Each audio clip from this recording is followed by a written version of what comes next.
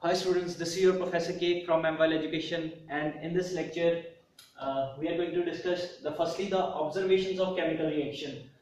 Now you understand what is chemical reaction? When change happens that is chemical reaction. But but what type of change? Here for this we will observe change in state. Solid may be converted into liquid liquid may be converted into gas this type of change. So uh, this is the change in state. Second change is change in color. There can be there may be or may not be change in color.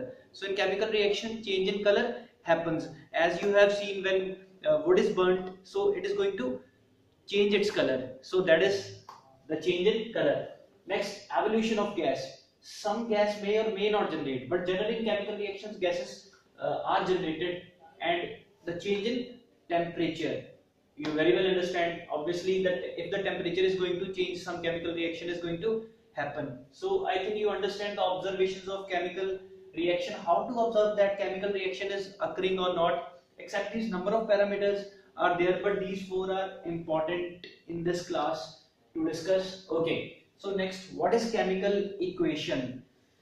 So that is our main uh, focus that what is chemical equation? For example i will clear you with an example of your syllabus so when magnesium ribbon burnt in oxygen it is converted into magnesium oxide now this is a lengthy statement so we can uh, write a word statement or a word equation like this magnesium plus oxygen will give you magnesium oxide so that is much simpler than this particular statement. This is only one example, but in next videos we are going to have number of chemical reactions. We have to balance them and lot of tasks. So this is a word equation.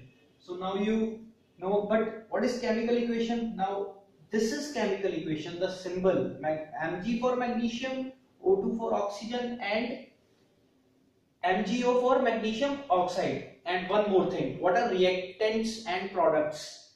Uh, this is an arrow the left side of the arrow will describe the reactants means reactants are going to react and they will form out the products. So the right side of the arrow will give you the products. I think it is much clear to you because it, it is already clear to you in your previous classes. So these are reactants, these are products and this is chemical equation and uh, one missing thing is here which I will discuss further. We can also write down the state for example if this is solid you can write here s in brackets okay so that, that thing we will discuss and uh, so that's all about this lecture. This is your professor k. And please subscribe our channel if you are liking us. And obviously for some more good stuff in future.